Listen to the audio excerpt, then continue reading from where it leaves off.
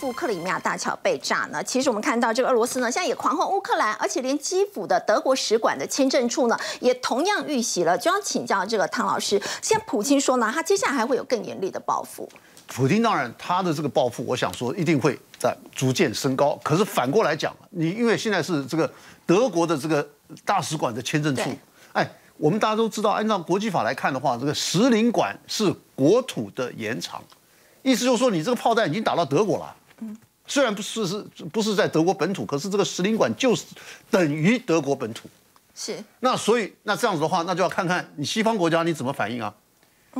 那你现在西方国家的话，你因为德国当然是这个北约啊，那你北约现在你被攻击了，那你被攻击的话，那你这边就要集体的反应了。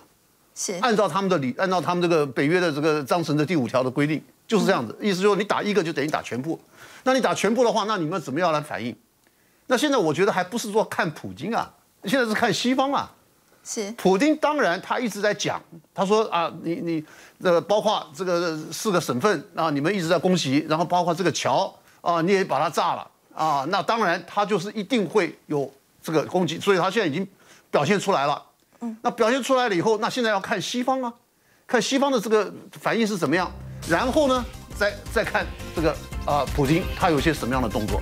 那这个东西就是一个在军事上面所谓的这个 escalation，就是逐渐升高，啊，逐渐升高。那你现在你是不是有可能使用到所谓的战术核武？